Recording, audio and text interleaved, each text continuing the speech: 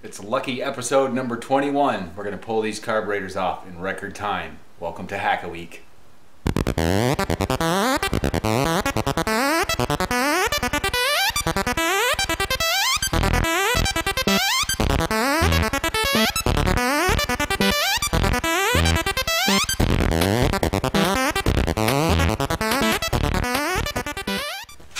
Okay, this is number four. Uh, the fourth time taking off these carburetors. It's 3.29 right now. At 3.30 I'm going to start and see just how fast I can pull these carburetors off. Like I said, it's the fourth time. I know just what tools I need. Everything I need is right here in my hands to take these carbs off this bike completely. So uh, we're just going to wait for the clock to hit 3.30, which should happen pretty soon and uh, get everything off. Again, what we're after on these is to go ahead and pull off the covers on the top where the diaphragm is that pulls up the needle and check the passageway that runs down into the cylinder bore. I've got a feeling it's plugged up. I've got some tiny drills. I'm going to drill it out to probably uh, 0.4 millimeter and see what it does then. That should maybe do the trick. I'll get into the mains. I don't think it's clogged up tank or anything like that. There we go. It's 330. Here we go. Yeah.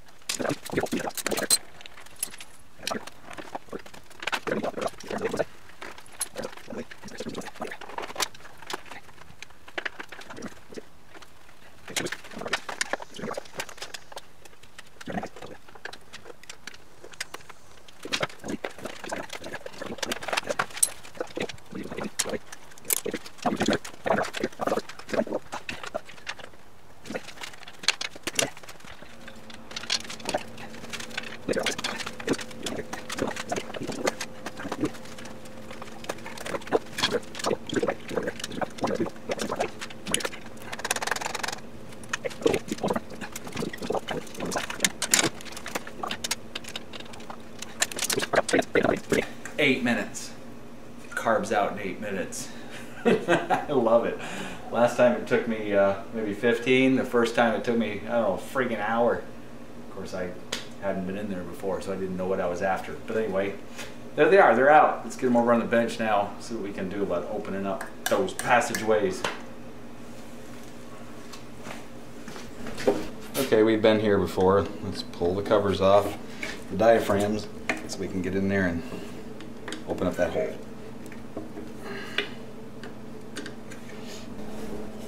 Right there, that's the passageway I'm talking about. That thing is so tiny right now. It's uh, I can't even get like a really really thin wire through it, and I think it just needs to be opened up to the bore that you see right there on the top. So I'm gonna run a 0.4 millimeter drill through there. We're gonna put everything back together, stick it back in the bike, and see what happens. I've got the drill chucked up in uh, my portable Dremel. I'm not going to use it under power because it would just snap that drill bit. I'm just going to turn it by hand and use this as a holder.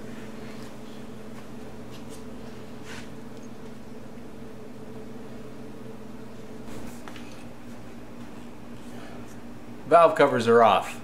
not that hard to do in my situation because I've got a lot of the stuff pulled off from the bike already so it makes the job pretty easy to do. But pretty much you get the tank off, the side covers off, you pull out that heat shield that's right here, and then you can take off the, uh, the back cover. And the back one is in two parts. That enables you to get it out of the frame. The front one is not in two parts. The front one is just a one piece, like so. So anyway, here's the tappets. They're basically like this. There's four valves per cylinder, two intake, two exhaust and the tappet sits like this and it pivots back here and the cam pushes on it as it comes around and it pushes on the two valves. So you need to adjust the two tappets, the clearance between the tappet and the valve stem.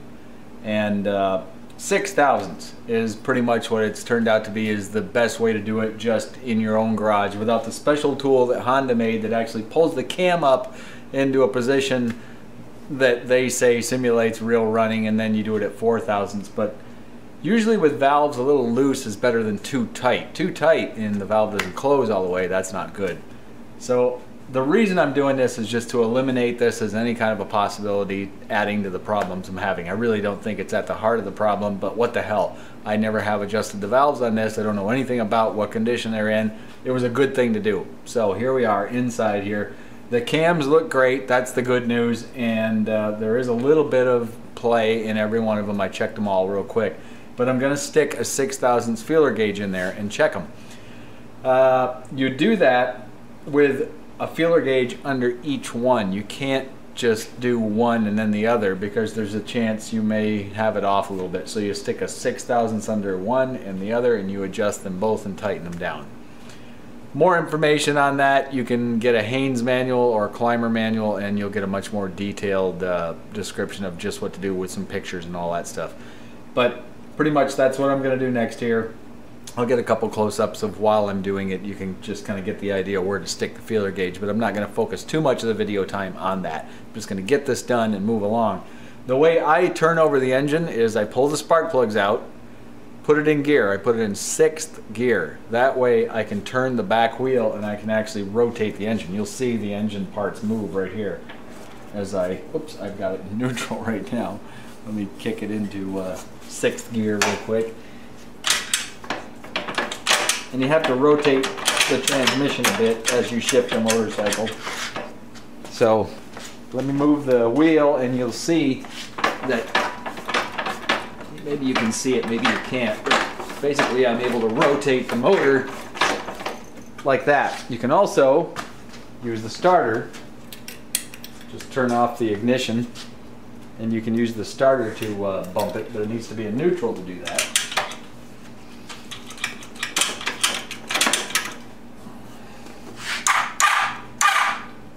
so you can just bump it simple like that. What you want to do is get it on the back side of the camshaft when you adjust it. So the cam has a lobe that it's kind of shaped like this. This is the high side of the lobe. You want it to be other way around so that the tappet is on the back side of the cam, the side that's not lifting it up. That's where you want to do your adjustment or at top dead center. I usually just do it per valve, rotate it around to the back of the cam lobe and then do the adjustment. Okay, enough of this long-winded description. Let's just get it done. These are 10 millimeter nuts. Loosen those up first and then take a long flat blade screwdriver and you can come in through the top of the frame. Make sure that these are all loose. Back them off just a little bit. Now what you need to do is get that 6 thousandths feeler gauge in. What I've done is I basically sacrificed one. I bought a, a $7 feeler gauge set. I pulled out the 6 thousandth feeler gauge which is 0.006 by the way and then the other measurement is 0.152 millimeters and I bent it so that I can drop it down in there and stick it under both of them at the same time. So let's see if I can squeak that in there. With the help of uh, a needle nose pliers my fingers are going to be in the way for a minute. You won't be able to really see what's going on until I get it all in there but you basically want to get it in between the valve stem the head and the tappet. You might have to back off the screws quite a bit to do that. That's fine because you can adjust them all up later. Let's get that tucked in. Okay, there we go. I've got the uh, the feeler gauge is sitting in there. You can see that now. It's it's underneath the tappet and on top of the valve stem. When you're doing all this stuff, by the way, be really careful you don't drop anything down into the engine because it can go down into the engine through the uh, the uh, timing chain hole. So let's keep that in place and we'll take the screws and just barely snug them and make sure that they aren't bottoming out on the nut but they're actually bottoming out on the feeler gauge. Really light touch on this. You don't want to squeeze, you know, don't turn a whole lot and make it tight. Just where it just bumps. Okay, now here's the tricky part. Now that you've got it all set, you need to tighten those two nuts. But you also need to hold the screw right in that position where it is now. This is the tricky part now. That that screw can't rotate at all. If I if I tighten it and do that as I tighten, that's not good. That's going to be a tight valve. So again, just to where it just stops turning. You can just feel a little tension on it and hold that screw right there and give it a good snug. And let's go over to the other one. Get it on the nut first. Do a little adjustment, just bump it against there. Hold it good and steady, don't let it turn. And give that nut a good snug. You don't have to get these screaming tight, just uh, a good firm torque. That's all you need.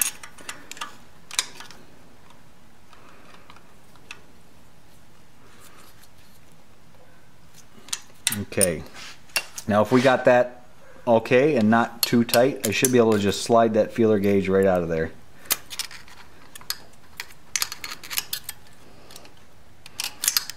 And indeed, it does come right out. So that's good. Hear that little bit of tick, tick, tick? That's a six thousandth clearance, and that's what we want. Now I've got to repeat that on all of the cylinders. So that wasn't bad. It was about 20 minutes to get those all uh, adjusted. When you put these bolts back in, they have a uh, six millimeter Allen head on them. Be careful. They're really easy to get uh, too tight and break. So just a good snug. Just, ah, uh, that's it. That's all you need. Don't be tempted to go really tight thinking you're going to make them seal better. They're going to seal just fine don't go too tight. You will break one and you'll be sorry. They're a bitch to get back out. The carbs are back on. Time for another test ride. Cross your fingers.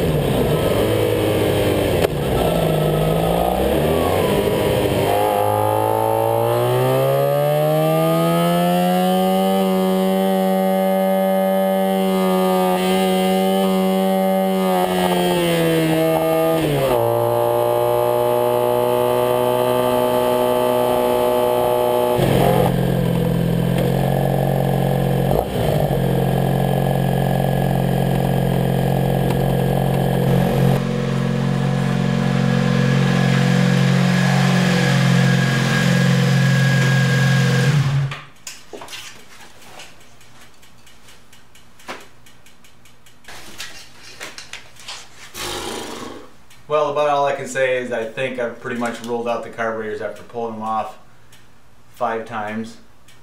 I know the float setting's okay. I know they're getting fuel in there. I've looked at it when I rev it through the air cleaner and I can see the needles lifting up, it's opening up. It's got to be something ignition related, which is really freaking odd, but I suppose it could happen. this is really testing my patience at troubleshooting this one. But of course, that's what it's going to be because it's all just good fodder for video for you guys, right? Yay. Oh well, anyway. Onward we go. Next up, we're going to start troubleshooting ignition. Damn. Hey, you know what? I might have it figured out. I just did a little test with the timing light and, uh, well, let me just show you what the results were. All right, I'm hooking up the timing light to the front two cylinders. They fire off the same coil at the same time. I'm just gonna shine the light, the strobe, right here in this area. You'll see it flash. Watch what happens when it hits five and a half thousand RPMs.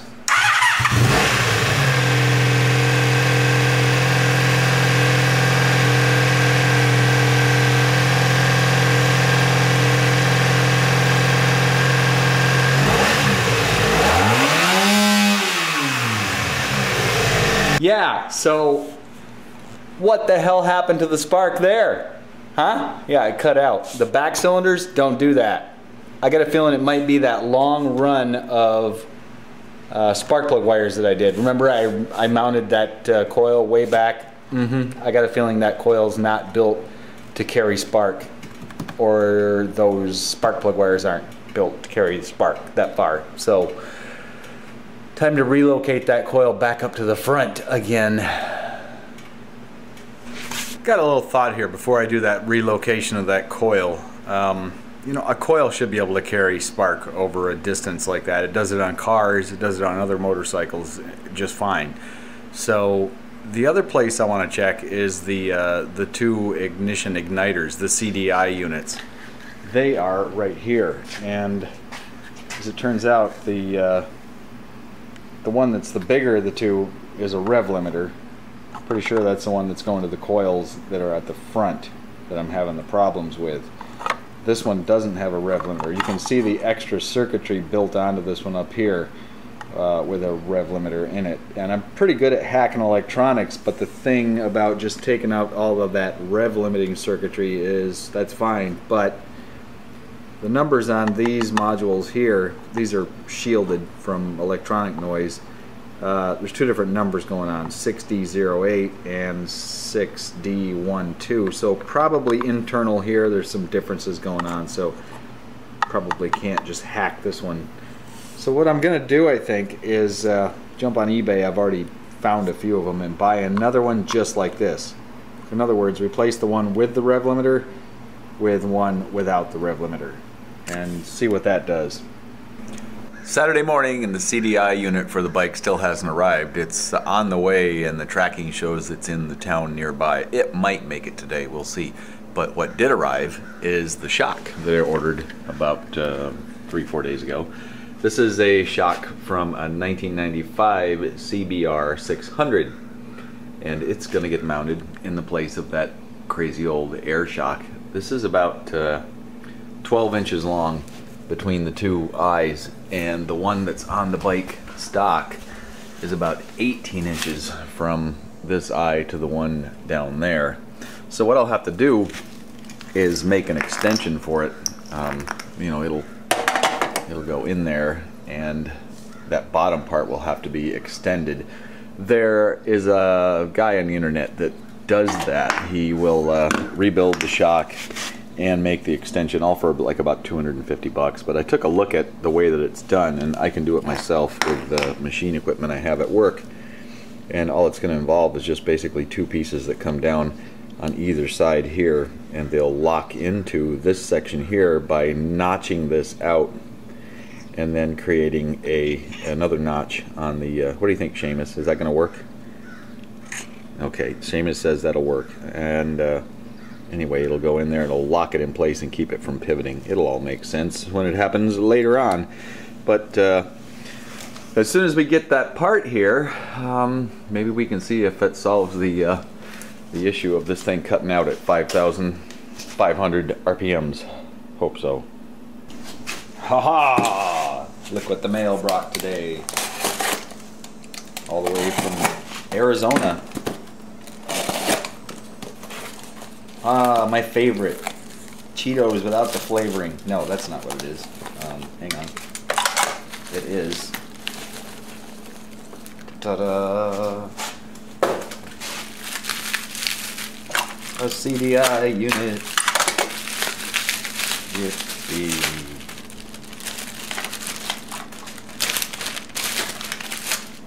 Cool, there it is. This one still has the plug on, and if you remember from several episodes ago, I took the plug off from mine to make a little more space, make it easier to tuck in. So this won't be a plug and play device, this will be a solder it in and play device. So let's go ahead and get this sucker soldered up and go for a ride.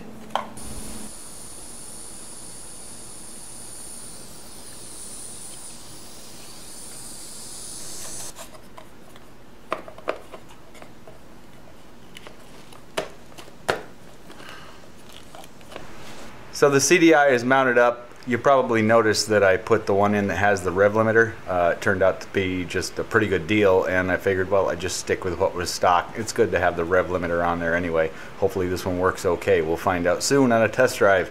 I've got the GoPro mounted up, and uh, I came up with a, a way to mount that and stiffen up the mount for the fairing. Let's take a look at that real quick. I put a piece of aluminum between uh, where I mounted the instrument cluster to the uh, headlight bucket up to the dashboard area.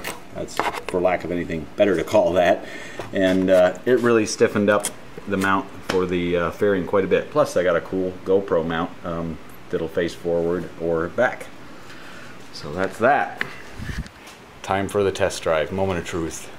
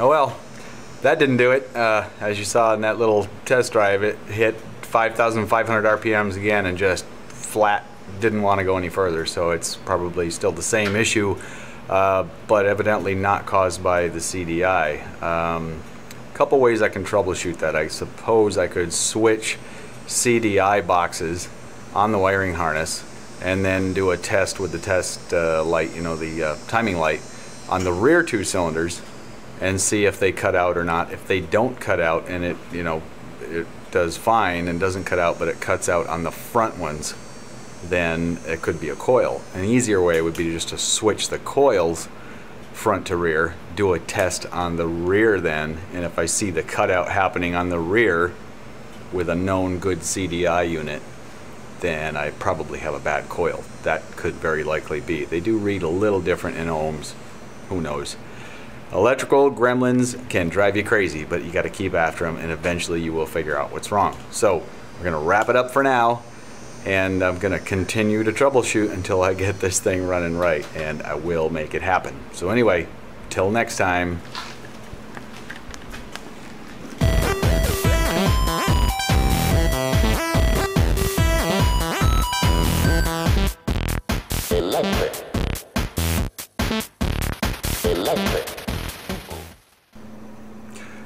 Saturday morning and the uh, part, the ignition igniter thing, CDI, yeah, blur.